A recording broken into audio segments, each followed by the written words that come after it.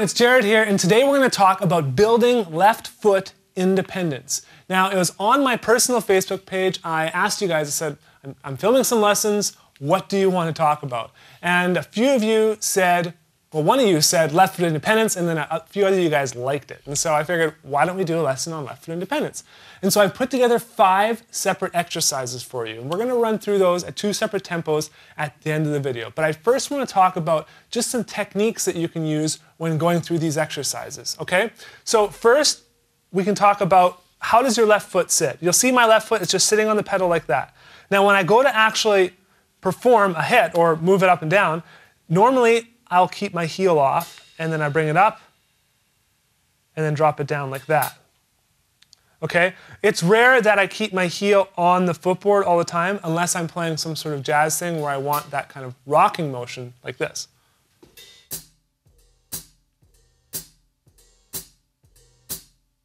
So normally, when I'm performing hi-hat foot strokes, it sounds like this.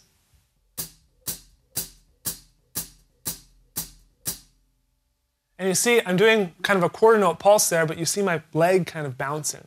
And that's just something I developed on my own to kind of help me keep time and feel the eighth notes. And, and I feel it just gives me overall a better sense of time. The next thing I want to quickly touch on is why you need to develop your left foot. Um, this is so important just as a timekeeper in music, you know. And when a band, when you're playing as a band all together, a lot of people, um, musicians, your bandmates, will look at this for their time reference. Where is the quarter note? And it's something you can keep going in really soft parts and kind of give them some time reference and stuff like that. So whenever I'm playing, um, in general, I like to keep this going. If it's not like hi-hat foot strokes, I'll even just keep the back of my foot bouncing like that. Okay? So the first exercise we have just goes on basic quarter notes. Then number two, we're going on straight eighth notes. Number three, we're just hitting the offbeats. So one and two and three and four and, or upbeats. I know some of you guys call them upbeats. And then number four and five are a little bit unique. And I just want to quickly talk about those. Number four, we're going into splashing. Now, what I do to splash in the hi-hat, now I have big feet, and so some of you, if you have smaller feet, you won't have to do it exactly like I'm doing it. But in order to splash, what I do is I bring up my foot, and then I hit it with my heel back here, just hard enough that the cymbals splash together, like this. And then I bring my foot back down and perform a hi-hat foot stroke, like that. So all in one motion, it would sound like this.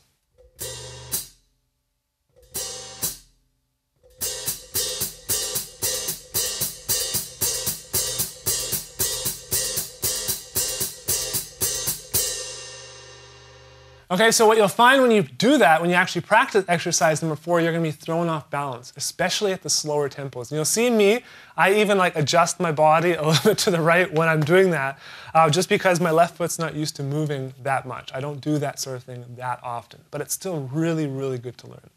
Exercise five, we're actually applying the heel toe technique to the hi-hat pedal. And it's what I've always told people. People say, oh, I don't need to learn heel toe technique, I don't play double pedal. Well, we're all double pedal drummers if you use a hi-hat foot pedal. Does that make any sense?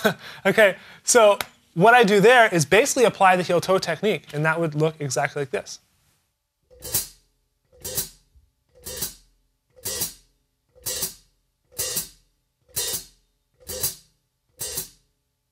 So the splash lands on the end, and the other, the closed note lands on the ah. And so you can get some really cool patterns going, um, and you can do other stuff completely with your bass drum because basically the motion of your leg is only landing on the ands. So one and two and three and four and. Look at what my leg is doing.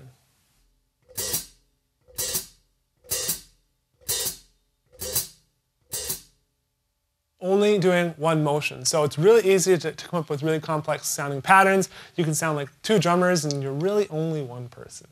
So with that said, you guys, I want to get to the exercises so you guys can see exactly how these sound. Then you can go ahead and download the sheet music. And I have one more thing to talk to you about at the end of the video, so make sure you stick around.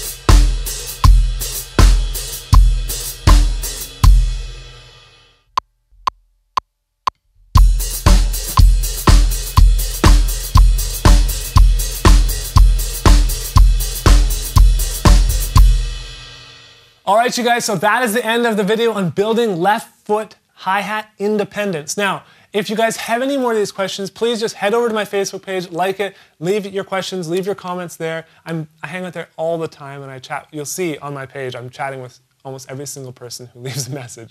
And so go ahead and do that. Also, please answer this one question.